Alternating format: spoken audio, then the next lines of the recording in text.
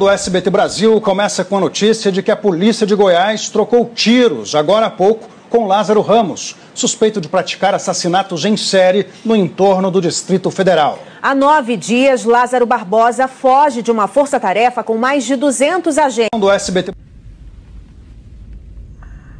Eldorou nu to the big desfondron body lemon life new I don't need be out playing it We're